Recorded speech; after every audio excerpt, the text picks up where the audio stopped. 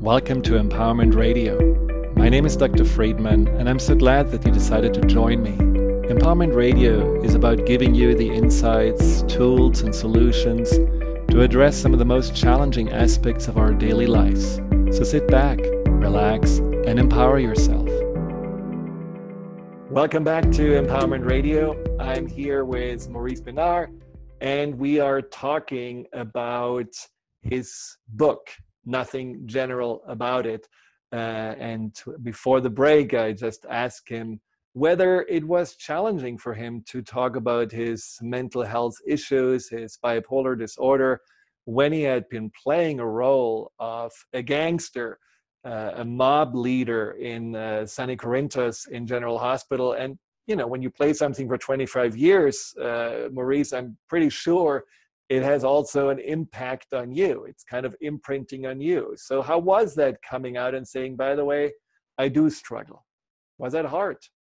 Uh, it's it's it's not been all that hard because I'm I'm such an open all the time, and mm. I'm always talking about my everything that's happened to me.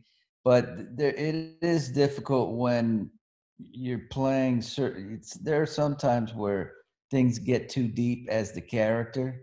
Like my father on the show has Alzheimer's, and there are sometimes that I do it and I just it's too much and I say to myself, I don't want to do this anymore. But because I know it reminds you too much thing. of your own father. Yeah, it kind of reminds me of my own father. It's it's just it hits these these places inside me that I don't want to be hit. Mm-hmm. And um, but it's my job, so I gotta you know get up tomorrow. Uh, I think the only time that I would say it's scary that I've been really scared is when I haven't, you know, I'm having an anxiety and I have to go in and act. That's scary.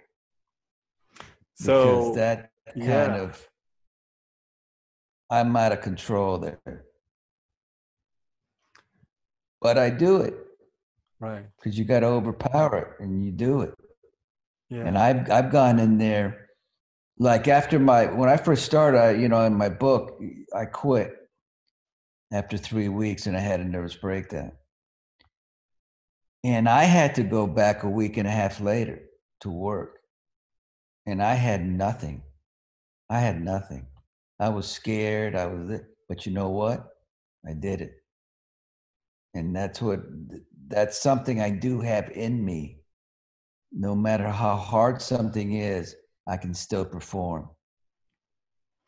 And isn't it something that. that. you know, I, I feel like you had many situations probably where you were brought to your knees and somehow you got up and you did it anyhow. I mean, you had in your acting career situations where you felt like I cannot play that role. Like I think the Gotti role was challenging, or people didn't believe in you, and oh, yeah. you did it anyhow. So how did you find that strength? I mean, you know, it's like because you have been seeing yourself often as someone also who I'm struggling with, you know, my my ups and downs with the bipolar. I'm struggling with anxiety, but somehow you don't identify yourself totally with that because you are not letting yourself be stopped or paralyzed by these challenges. So there is something really strong inside of you. How do you tap into that strength? Uh, some of it's God, obviously.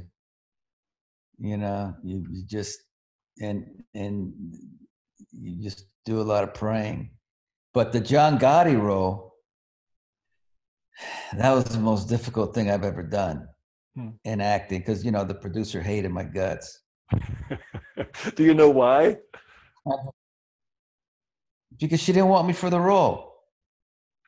So she treated me horribly. and but you know, oddly enough, it was really difficult, but I didn't have anxiety. Hmm. It's it's almost because that I should have had anxiety during that period but didn't have anxiety, but I was scared, nervous, like I couldn't do it. And I just kept fighting and fighting and fighting and figuring out, figure adapting in ways that I could do it, like figuring out how to what like I started treating her like I was John Gotti. so, so every time I'd see her, I'd be like, "You need me for something? what do you need me uh, did that scare her? that was three weeks. Ago. I told Paula, my wife, twice, "Get me on a plane. Let's get out of here." Can't do it. And Paula would say what she always says. Paula's my wife. She'd always say, "You are stronger than you know." Yeah. And that kind of gets me through it.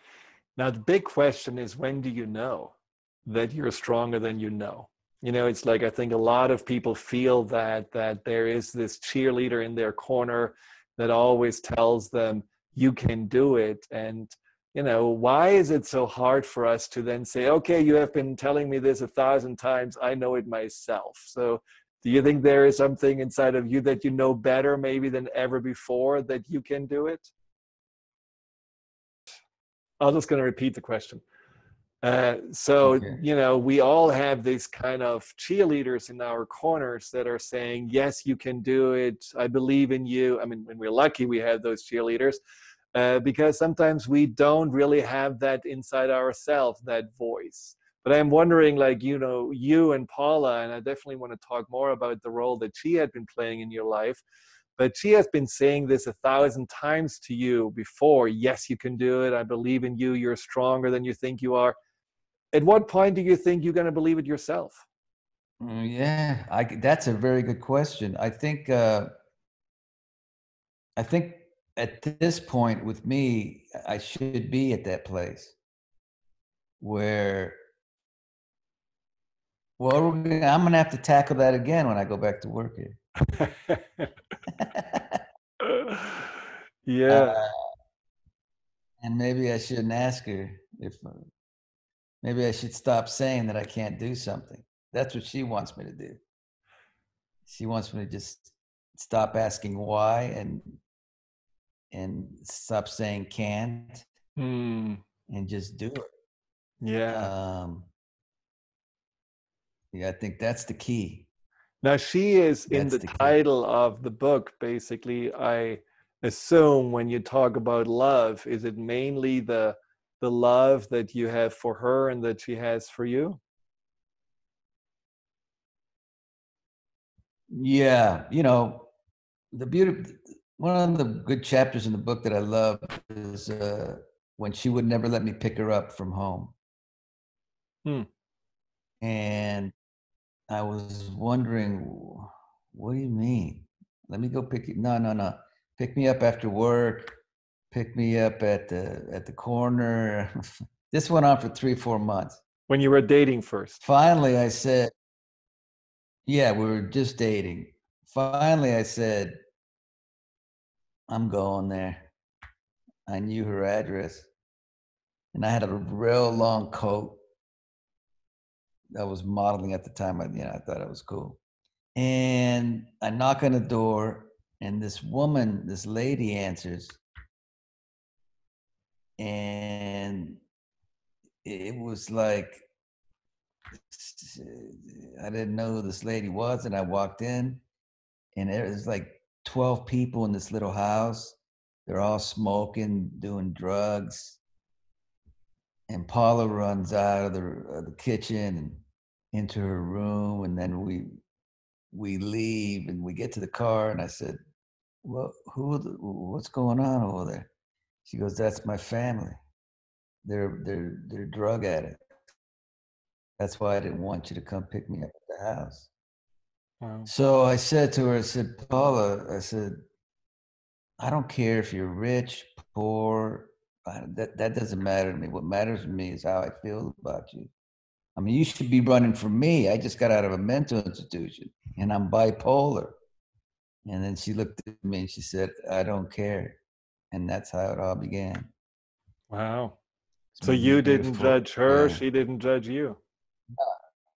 No. No. But what do you think is a secret that kept you together since now how many years? 30 something? over 30 years.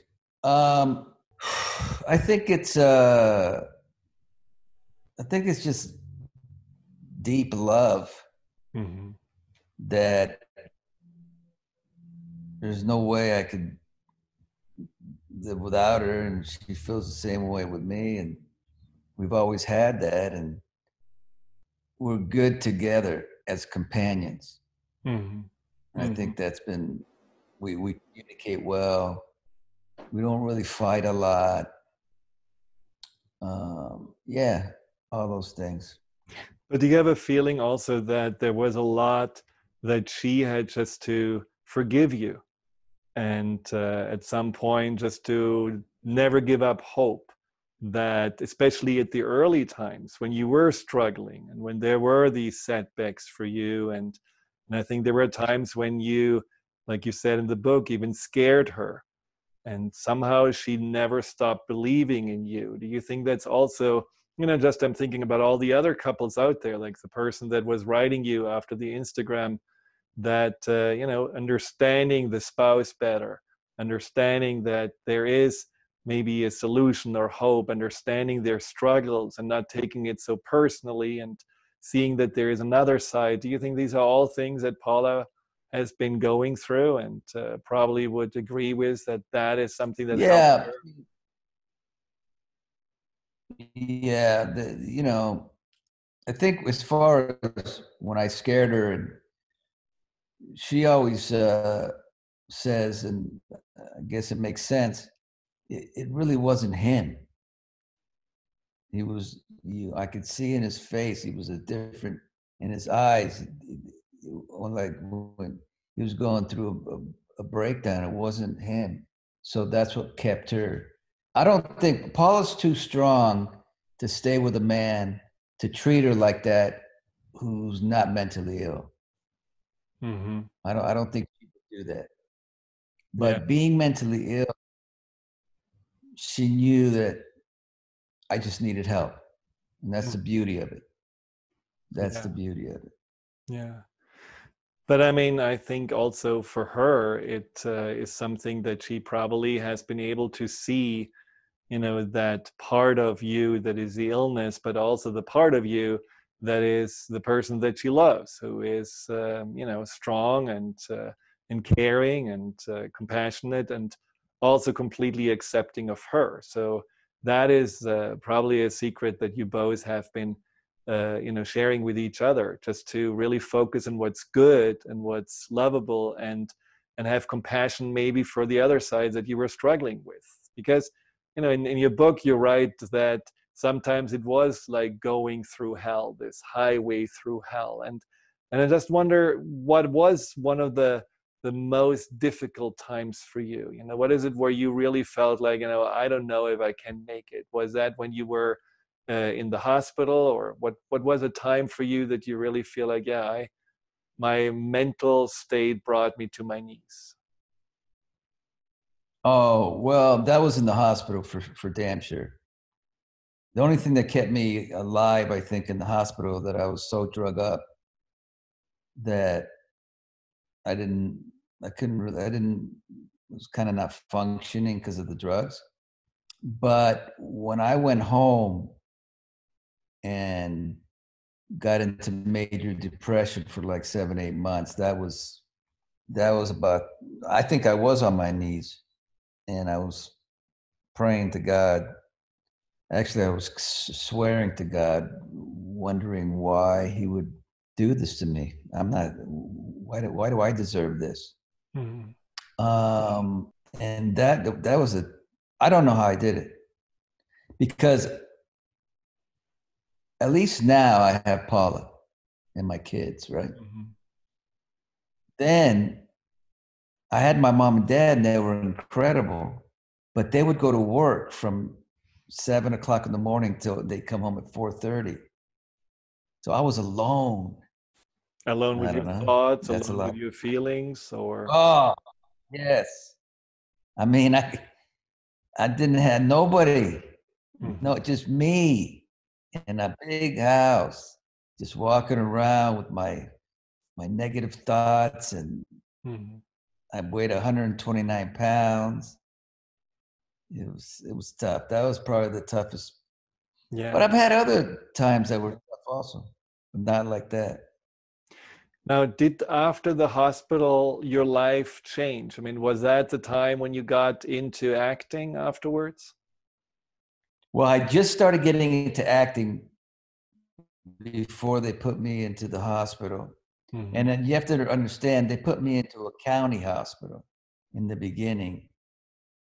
And I was in a room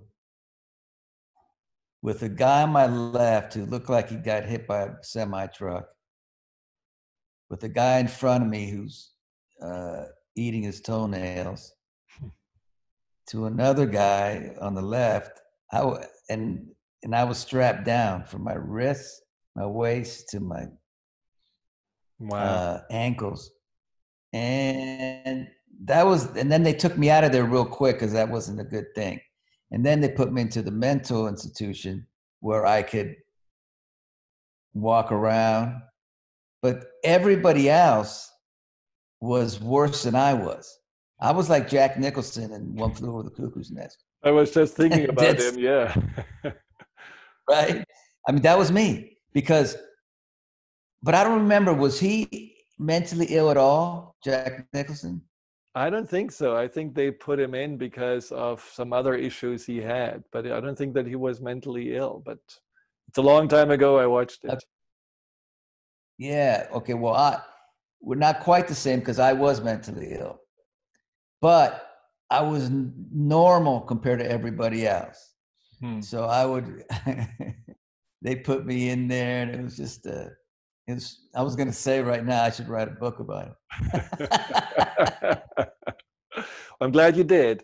Um, uh, yeah, but there was some funny stuff that went in there, stuff like that. But uh, um, you know, eh, all this stuff is very.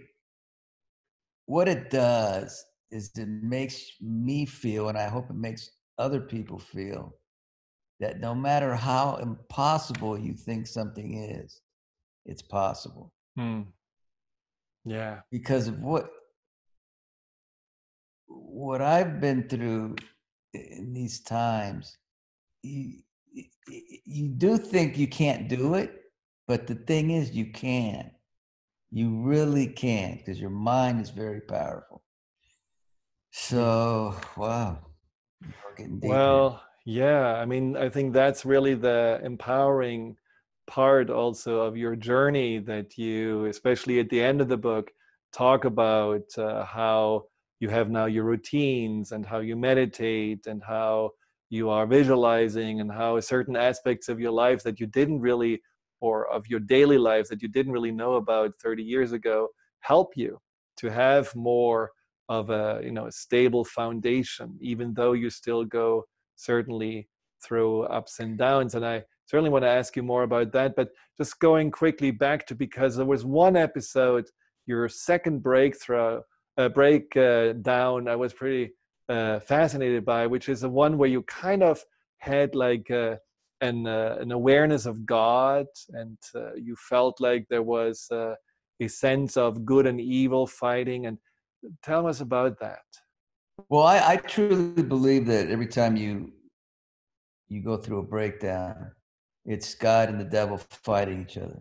Hmm. And God usually wins, but there are times, obviously, where the devil wins and you're in trouble. Um, that particular that that you know it, it people may, may go yeah right, but you know I, I I really saw a light in my room one night and it scared me, but I, I believed it was God, and, and that took me to, you know, every that whole breakdown was about religion and God. and then one one story that I love to tell is I had to go to a church, and when I have to go to a church in this feeling, you got to go. it's it's if you don't go, oh no, something's gonna happen. So Hmm. I went with my mom and Paula to a church and and it was closed, locked. Damn. I'm like, I gotta get to a church. And then as we're walking away, Monsignor this older Monsignor came up says, Can I help you? I said, Monsignor, listen, I, I need to go inside and pray. He goes, The church is locked. I said, I know, but I'm kind of going through something right now. And they always look at you like, is he on drugs or is he drunk? Or and he goes, uh, Do you take walks? I said, No. He goes, uh, All right, let's bring you in. He unlocked the doors. I my mom and I sat in the third pew. He said, Listen, just don't go up to the altar because the alarm's on. I said, All right. So I'm with my mom and we're we're praying and crying and and then I get up and I walk and I walk to the altar and the alarm doesn't go off. Huh. Then my mom walks up, the alarm didn't go off. Now, whether you believe in God or you don't believe in God, you think it's a coincidence or you think it's something spiritual, in my head, for sure, it was God. Mm. So we walked, we walked down, and we asked the Monsignor, "Why didn't the alarm go off?" And he goes, "Oh, they probably forgot to put it on." So there you go. That's all. That's wow. it. Especially in my state of mind, that all becomes something, right? Well, a lot of people say that through their challenges with their emotions uh, that or their minds they became actually more spiritual and some say even more psychic that they become more aware of energies more aware of the presence of god or spirits and uh, and sounds like you have been also becoming maybe more uh, strong in your faith because of it yeah, um, not as strong as I'd like to be, but I do believe in God. Always have, and you know, because people say to me, "Well, what, what do you mean? What, why?" You know, people that aren't don't believe in God that, and I say, "Well, this how this life is too difficult. Can't do it alone. Sometimes you need you need help." and that's how I've, you know, gotten help in yeah. my own way. So, you know, it's important. Plus, with these with these stuff, with the anxiety and depression and bipolar, there's a lot of that goes on in the head there. Well, I always uh, feel like when we have anxiety, especially, it's uh, a really good antidote to focus on to have trust uh, not the absence of anxiety is that counts, but really to have trust, trust in yourself that you can handle whatever life brings you. But then, if you have that faith, and it's certainly useful and beneficial, also trust in God, trust in a higher power. And uh, when we can really lean into this, then that anxiety and that feeling of powerlessness or out of control just simply dissipates much faster. We have a, a little break. We'll be right back and more with Maurice. Hi, Dr. Friedemann here. Thank you for tuning into my YouTube channel. If you're interested in learning more about fear and anxiety, here you'll find guided meditations, webinars, and interviews with some of the most renowned experts in the field of empowerment. Delve into the over 230 videos and more to come every week.